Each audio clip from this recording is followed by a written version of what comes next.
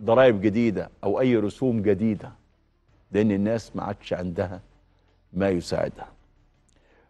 بنتمنى نخلص ونفرج عن مستلزمات الإنتاج اللي موجودة والمواد اللي موجودة والحاجات اللي موجودة في الجمارك. آه الرئيس قال من فترة أعملوا كذا وكذا وأفرج عن حاجات فعلا لكن في حاجات لسه موجودة. اليوم بسنة ما ينفعش عايزين نعدي عايزين ناخد إجراءات غير تقليدية نخلص الناس من هذه الأزمة. عاوزين نشدد الرقابة ونفعل دور الأجهزة الرقابية. جهاز حماية المستهلك مباحث التموين الجهات المعنية. ينزلوا ويشوفوا إيه اللي بيحصل. ونقدر نقف على حقيقة ما يجرى مش معقول أنا أشتري سلعة من تاجر والتاجر اللي جنبه بسعر تاني واللي جنبه بسعر تالت وبعد ساعة أو ساعتين الأسعار بتتغير. وترتفع ولا تنزل. استمرأوا هذا الأمر. في ناس استمرأت هذا الموضوع. لازم ناخد موقف من تجار الأزمات. لازم يبقى في إجراءات قوية شعبية ورسمية ضد اللي بيعملوا ده. لازم يا جماعة ندي أمل للناس. الشعب المصري بيعيش بالأمل. وعايز دايما يحس ان صناع القرار معاه على الخط. يعني مثلا أنا إزاي بطلب إن الشغل يشتغل والدنيا تتم والناس تجري وحركة المحافظين واقفة. وعدد كبير من المحافظين قاعد ساكت مستني. مش عارف يا عيني قاعد ولا ماشي. فبيستنى. طب ليه؟ مع إن الحركة جاهزة موجوده طب ليه؟ لازم نغير بعض أصحاب المناصب اللي أثبتوا فشلهم في الفترة الماضية. لازم. يبقى في حركة في الشارع. قول للناس يا جماعة إحنا معاكم وبنغير وبنودي. ولا الناس دي كلها فرضت علينا إلى الأبد. ما ينفعش. لازم نشيل العقبات اللي بتعترض الاستثمار والمستثمرين. وأي حد يكون عنصر طارد للاستثمار لازم يسيب مكانه ويتحاسب.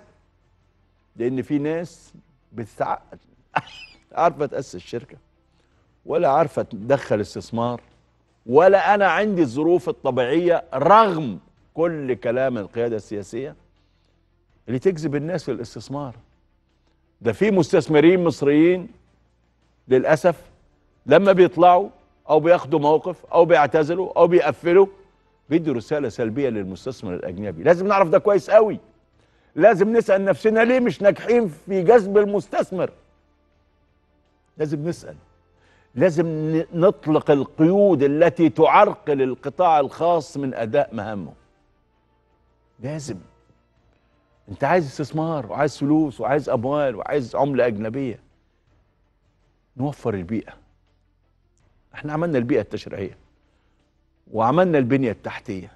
لكن الجهاز المتشبث البيروقراطية اللي بتعقد أي حد ما زالت هي اللي بتحكم حركة الاستثمار وأنا مش عارف ده ليه يعني.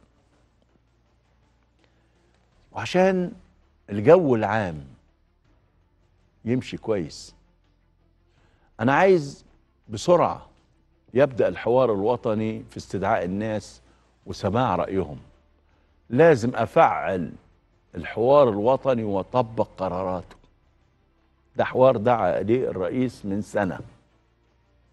ما يقارب السنة. هو لسه مجلس الأمناء هيقعد يجتمع ويبحث ويناقش وإحنا داخلين على السنة الثانية طب ليه؟ ليه؟ عشان إيه؟ ما نجتمع وأقعد وأسمع الناس في المجالات السياسية والاقتصادية والاجتماعية. وعندي لائحة وعندي مدونة سلوك ورئيس الجمهورية قال أنا هحضر. إحنا عايزين نشوف القرارات منفعلة. آه في ناس بتغالي. ماشي أوكي. يترد عليها تتسمع ويترد عليها. إنما مطلوب بالفعل إن أنا أعمل ده. ليه؟ عشان كل الزهور تتفتح. أنا عايز كل مؤسسات المجتمع المدني ترجع تاني. أحزاب نقابات كله كله. يرجع تاني ونتفاعل. يبقى في مشاركة سياسية حقيقية.